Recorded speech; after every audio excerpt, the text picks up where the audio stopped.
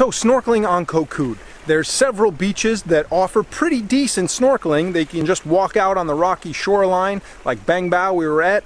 This one is Neverland Beach Resort south of this white sand beach here. Plenty of options to just do onshore snorkeling. If you want to take a snorkel boat trip, there's two main options. One, for a thousand baht, they will take you around the island of Koh Kood to several local spots, most of which you can get to on your own by just driving to the beach and swimming out. Here's what the snorkeling looks like right offshore here.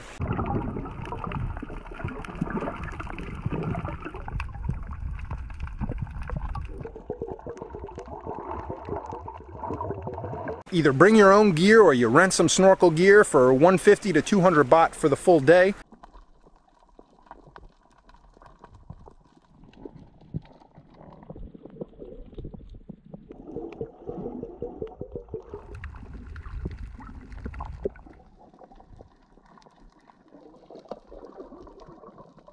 The other option you have is to take a boat trip to Koh Rang, which is part of the National Marine Park, the preservation area there. So, is it worth 1400 baht? That's how much that trip costs. 1200 plus 200 to enter the national park. 1400 baht, close to $50 a person. Is it worth paying that and go here?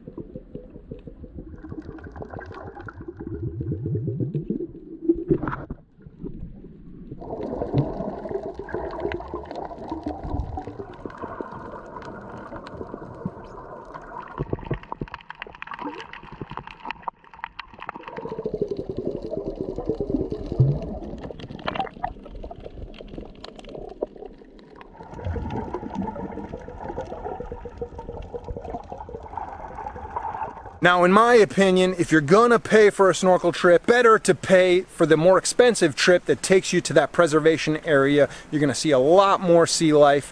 The reef is in much better shape. You're gonna see a lot more coral and varieties of different organisms. The water on the Koh Rang reef is much clearer. There's more live coral in Koh Rang, So if the goal is to see more sea life, definitely it's worth the cost. So with the Koh Rang trip for 1400 baht, that includes your equipment, that includes the additional 200 to enter the national park, and it also includes lunch. Also includes transportation to and from the boat. They'll pick you up at wherever you're staying and drop you back off. So nearly 50 bucks to enjoy some epic snorkeling in a national park here off the coast of Thailand. But the budget backpacker may want to either bring their own goggles, borrow some gear, or rent some gear for 150 just the snorkel and the mask, 200 including fins. One final thing, if you want to preserve the coral and the reefs here, and anywhere for that matter, number one thing is do not step on or touch the coral. It damages the coral, kills it, and then most likely will not grow back. So do not step on it, do not touch it, do not grab it, do not break it off. Number two is this island is mainly a fishing community. Unfortunately, some of the practices of the fishermen are not really sustainable to preserving the coral and the reefs. They've been known to drop their anchors directly onto a reef and damage the coral. So long term, by not eating seafood here, you're discouraging that practice, I would hope, because then it's less fishermen out in the water catching fish for you.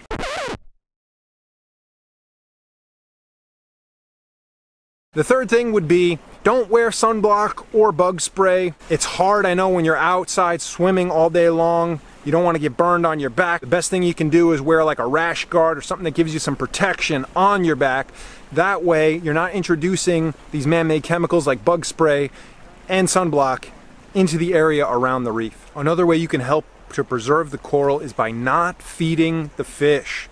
If you feed the fish, that prevents the fish from feeding on the algae, which in turn allows the algae to overgrow and smother the coral.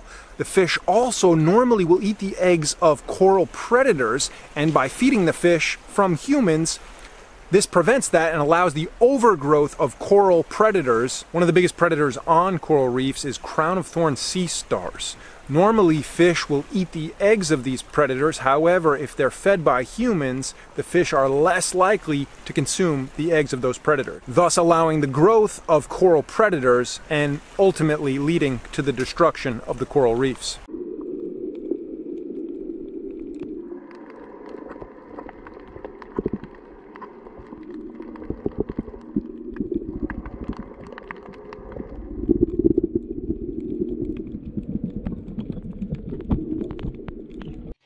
Infamous